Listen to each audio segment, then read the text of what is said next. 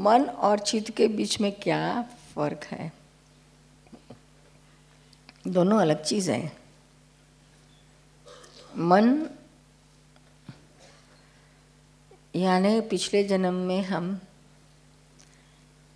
जो भी ज़्यादा चीज़ में इन्वॉल्व हुए थे, वो लेकर आए हैं।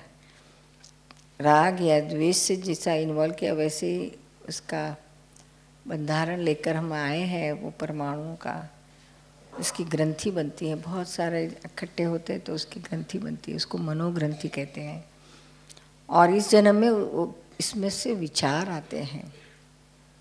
ग्रंथि फूटती है तो उसमें से विचार आते हैं। जैसे ज़मीन में आलू की गांठ बो दी तो उसी थोड़े दिन के बाद उसमें से अंकुर फूटते हैं ना? इसी तरह से मन की ग्रंथि में से अंकुर फूटते उसे विचार कहा जाता है। और ये विचार को आप पढ़ सकते हो, जान सकते हो। मन में से आते हैं विचार। कुछ अपने पसंद के है, नापसंद के भी होते हैं, दोनों तरह के होते हैं। फिर दोबारा उसमें आप इन्वॉल्व हो जाते हैं, तन्मयाकार हो जाते हैं तो नया मन बनते रहता है। समझ में आया? ये मन का यह है, सिर्फ़ विचार और कुछ नहीं है। मन रडार जैसा है, रडार रहता है ना। क्या कहता है, रडार का क्या कार्य है? तो सिर्फ़ इंफॉर्मेशन देते हैं। रडार क्या कहता है? इंफॉर्मेशन देता है। फिर उसका आगे कुछ काम नहीं है। उस पर क्या एक्शन लेना, वो मन का काम नहीं है। मन तो सिर्फ़ बताता है इंफॉर्मेशंस कि भी यहाँ डेंजर है, यहाँ अच्छा है या खराब, बस दैट्स इट फिर उस हिसाब से क्या डिसीज़न लेना, क्या करना, न करना, यह मन का कार्य नहीं है, यह बुद्धि और अहंकार मिलके करते हैं। है ना और चित्त का क्या कार्य है? चित्त यानी ज्ञान दर्शन। शुद्ध ज्ञान और शुद्ध दर्शन यानी शुद्ध आत्मा है प्योर सोल जो चित्त विनाशी चीज़ में जाता है,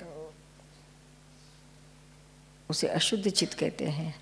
संसार में भटकता है जो चित्त, वो अशुद्ध चित्त कहते हैं। और अविनाशी चीज़ को जो दे देखता है, जानता है, वह शुद्ध चित्त वही शुद्ध आत्मा हो जाता है फिर।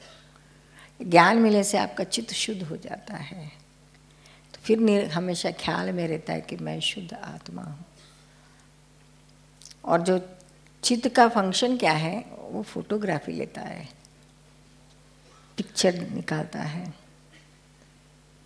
हो बहु पिक्चर दिखाता है। आप यहाँ है अभी। लेकिन आपको अभी यहाँ अपना घर दिखता है ना? हाँ। उसका किचन दिखता है। हाँ। चाय का डिब्बा किधर रखा है वो भी दिखता है ना? सब। वो कौन देखता है? आप तो यहाँ है वहाँ जाकर कौन फ़ोटो गिरा के आ गया? चित है।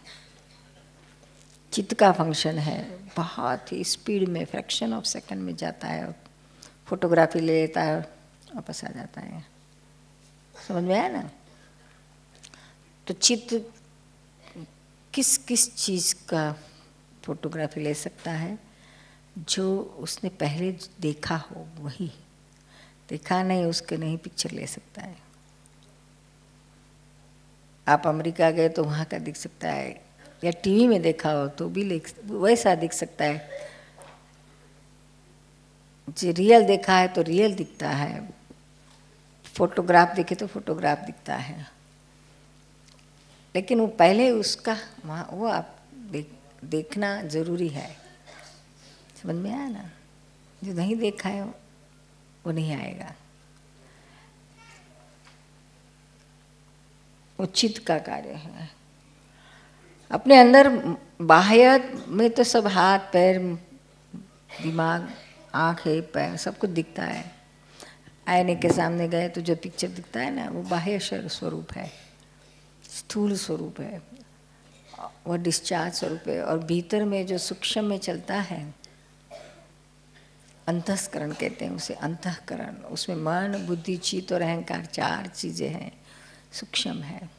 मन उसमें स्थूल है, विचार बहुत स्थूल है। ज्ञान दशा में भी आप अपने विचार को अच्छी तरह से पढ़ सकते हो। छोटा बच्चा भी जान सकता है कि विचार आ रहे हैं, मुझे बहुत स्थूल है। अचारों में से चित्त बहुत सबसे सूक्ष्म है। मन के ऊपर बुद्धि है, मन और चित्त के ऊपर बुद्धि है, बुद्धि के ऊपर अहंकार है। और अहंकार से ऊपर सिर्फ़ आत्मा ही हो, और कोई नहीं हो सकता। समझ में आया ना? हाँ।